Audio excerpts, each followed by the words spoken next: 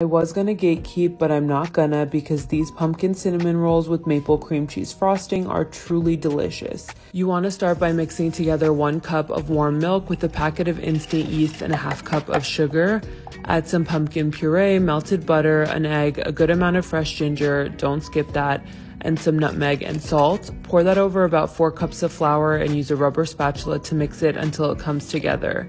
Knead it for a little on a floured work surface and then let it rise for a half hour. In the meantime, for the filling, mix heavy cream, super soft butter, cinnamon, and brown sugar. Then roll out the dough, spread over the cinnamon sugar mixture, roll it up from the long end, and use a knife or floss to cut it into 12 even rolls.